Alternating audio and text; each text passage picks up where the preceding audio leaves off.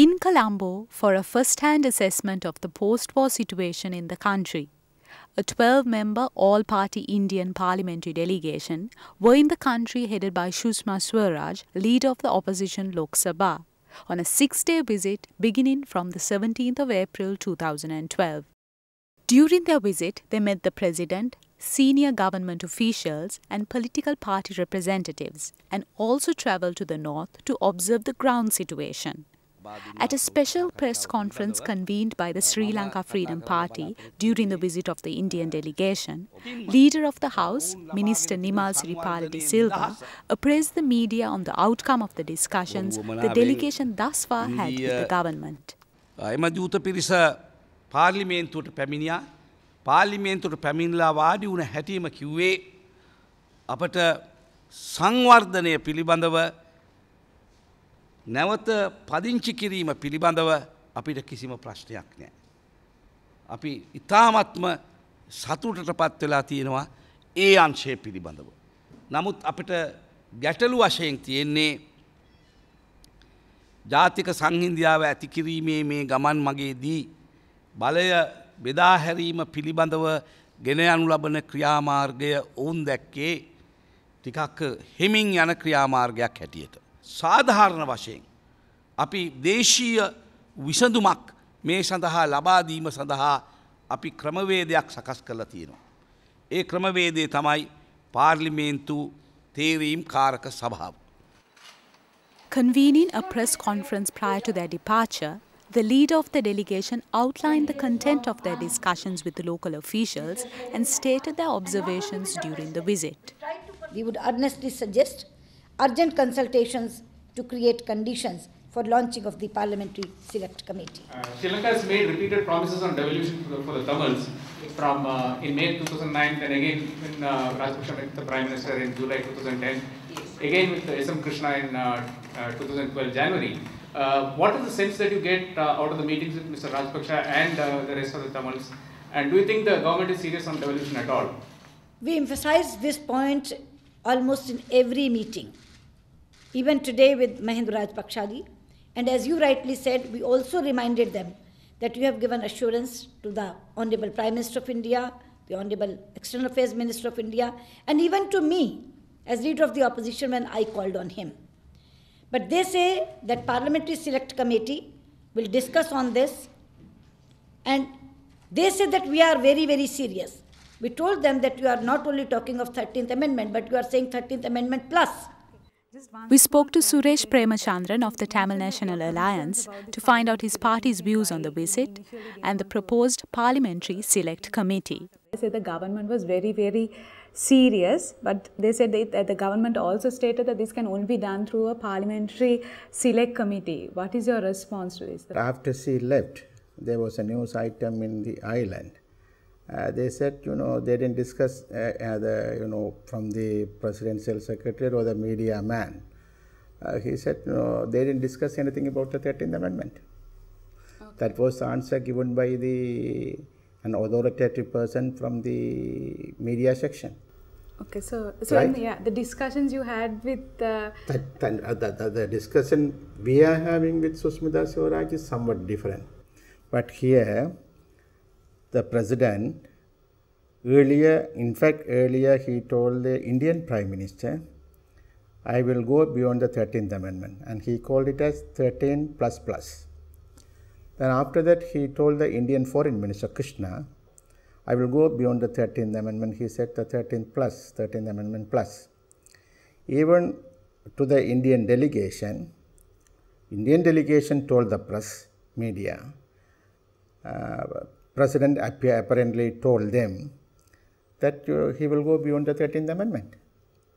Right? That was the uh, messages given by the Indian side.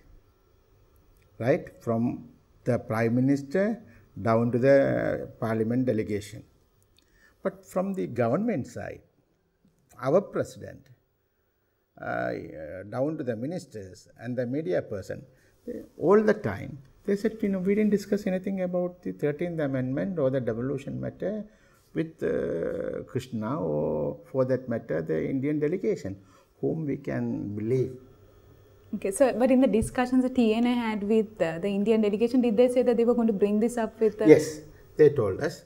In fact, we were discussing about the talks which were which, uh, which were held uh, from January 2011 up to January 2012, and we were having the discussions on those matters, how it was held, and what happened all these meetings and we, didn't, we couldn't achieve anything. We couldn't even, even move an inch.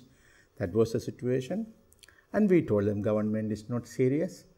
The government always want to portray themselves that we are they are talking with the TNA, and they want to send a message to the international community that you know we are engaging with them. We will find a settlement. There is not necessary others to involve in it. So they want to send a message across the world that you know we are very serious in the talks and we are dealing with the TNA. But in practice, they are not serious. For last one year, we couldn't come to any conclusion, any decisions, and uh, we couldn't even we couldn't even move an inch. That's the situation. So we told these things to the Indian delegation, and they told us, yeah, we will take up these matters with the president. Okay. Okay, so uh, according to the delegation now say that they, since the government wants this to be done within a parliamentary select committee, that they should be able to persuade the TNA. That was the effect that uh, was brought out there. Do you think that the, the stance the TNA has towards the parliamentary select committee would change after this? You, you, know, the point is this. You know, we told even Susmada Sivaraj and to other, other members of the delegation and even to the public and the international community several times in fact, we are not against the Parliament Select Committee, but there was an agreement between the President and our leader, Mr. Sampanthan, saying that we will have some agreement on the substantial matters, which we are given, already we are given a proposal. If there is an agreement on those matters, then with that proposal or with that agreement, we will come to Parliament Select Committee. That agreement can be Uh, given as a, uh, a common agreement between the TNA and the government or that can be a government proposal, whatever it may be. So in that situation, definitely we will, we said we will participate. But bilaterally, if we couldn't come to any agreement, how could it be possible in a multilateral forum? Because the Parliament Select Committee is going to be a multilateral forum where definitely there's going to be a single hardliners like Wimal Weerawansa, Champika Ranawaka, and of course our friends Karuna, Douglas Devananda, all these guys will be there. And if we couldn't come to some understanding with the government delegation, how it's possible to come to some understanding with all these people? Okay. So this was brought up with the Indian, yes, yeah. which was which was brought up to the Indian delegation, which we told again and again to the Sri Lankan uh, delegation also, our, our negotiating team, and we told to the public also. Still, actually, we, actually, we strongly feel that can be the uh, way out. So, otherwise it will be very difficult because actually, uh, if we, without any agreement, if we go to the Parliament Select Committee, that will be an academic exercise. I don't think that will bring any solution to the Tamil problem. Earlier, I was, a, I was one of the member in Mangala Moonesinghe Select Committee that was appointed to come to some uh, decision to resolve the Tamil problem. And we met more than 100 times and almost three years. And they came out with a report. The report is in the Parliament Library. No one didn't touch it. Then our president appointed two committees, that is the APRC, All Party Representative Committee and the Expert Committee. Expert Committee given a majority report and, and that was appreciated by all the people. And, and even the APRC also given a report. So those both the committees were appointed by our president, the present president. What happened to those reports? Nobody knows. So after that only he invited us for talks before he come to any, uh, any conclusions, they will come to any agreement, immediately he switch on to the Parliament Select Committee without coming to any agreement. So this is the fourth forum in his in his uh, uh, I mean period. So, Parliament Select, I mean, all party representative committee, expert committee, government TNA dialogue, now the Parliament Select Committee, right? So, how many forums do we need to discuss these matters? And how many times we are going to discuss these matters?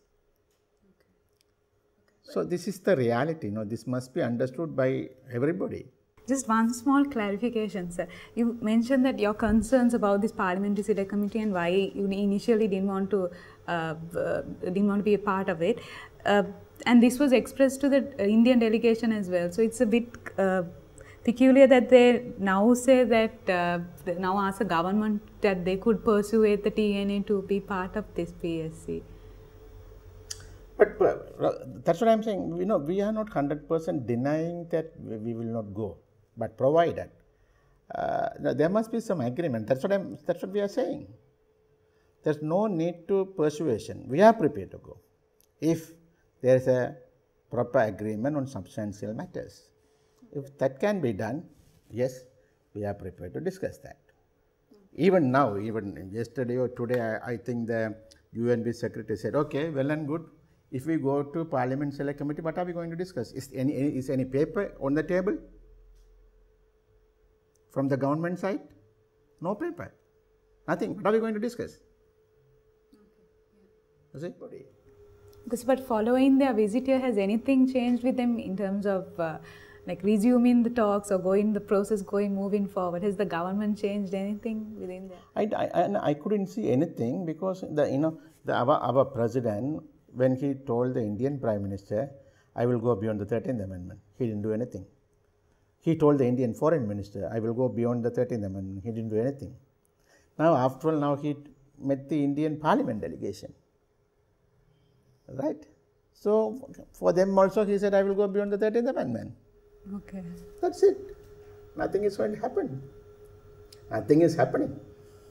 Okay, uh, some of the ta uh, Tamil Nadu MPs, uh, they pulled out of the delegation before it left saying that it wouldn't be purposeful. Do you think the uh, pulling out of the delegation was justified considering the because no, no, actually when, when you see the rigid stand of the Sri Lankan government and uh, definitely it shows you know, the, it may be the visit may be uh, of course you know uh, the, the parliament delegation they came and they went to Mullaitivu and they met the, they went to the Manik, Manik farm and they met the refugees and you know they went to Jaffna, they might be got some information.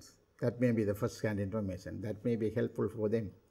Uh, other than that, I don't think they were in a position to convince our government or our president. I don't know if they could initiate anything. That may be a different matter. Uh, I don't know whether that will take place or not. But other than that, you know, they came and they met the Sri Lankan president and they conveyed various matters. They said, you know, you have to demilitarize the area, you have to start the dialogue with the TNA, uh, you have to resettle the people, you have to reduce the high security zone. All these things were raised with the president.